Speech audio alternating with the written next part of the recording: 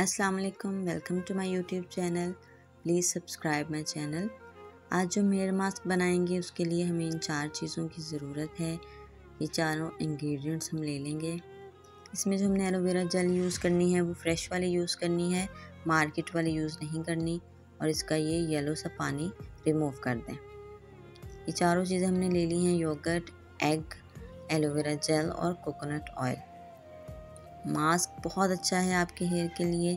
इससे आपकी डलनेस बिल्कुल ख़त्म हो जाएगी। फ्रिज को कंट्रोल करेगा और आपके हेयर बहुत स्मूथ और सिल्की हो जाते हैं। इस तरह से हमने अंडे को लिए के बीट कर लिया है और इसमें अब एलोवेरा जेल ऐड करेंगे हम टू टेबल स्पून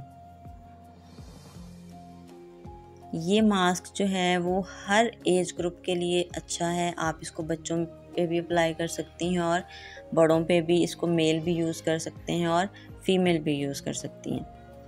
ये तो इस तरह से हमने एलोवेरा जेल निकाल लेनी है। हमारे पास two tablespoon aloe vera gel आ गई। इसको हमने अंडे में अच्छी तरह से मिक्स कर देना है। आप चाहें तो अंडे और एलोवेरा जेल को ग्राइंडर में डाल के ग्राइंड कर लीजिए। उससे ये बहुत अच्छे तरीके से मिक्स हो जाएँगे। लेकिन उसे थोड़ा सा ये जो है मिक्सचर वो स्मूथ हो जाता है, लेकिन साथ में पतला भी होगा। जी तो जब इसको हमने अच्छी तरह से मिक्स कर लिया, फिर इसके अंदर हम योगर्ट को ऐड कर देंगे। टू टेबल स्पून योगर्ट हमने ऐड किया। इस मास्क को आपने अपने बालों में दो घंटे के लिए अप्लाई करना है और उसके बाद शैम्पू कर लें। आप इसको एक वीक में दो दफ़ा यूज़ कर सकती हैं। चाहें तो तीन दफ़ा भी यूज़ कर लें, इसके बिल्कुल भी साइड इफ़ेक्ट्स नहीं हैं। सारी चीज़ें अच्छी तरह से मिक्स करने के बाद हम इसमें two tablespoon coconut oil add करेंगे। ये हम कोकोनट ऑयल लेंगे।